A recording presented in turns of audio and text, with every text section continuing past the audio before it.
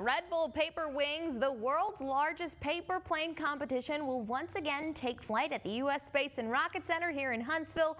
With no fuel or engines, student participants must simply make a plain sheet of A4 paper fly for as long or as far through the air as possible. At tomorrow's competition, it will be determined who will go to Austria to represent the U.S. in the world final. Fox 54 spoke with one of the Koala Flyers.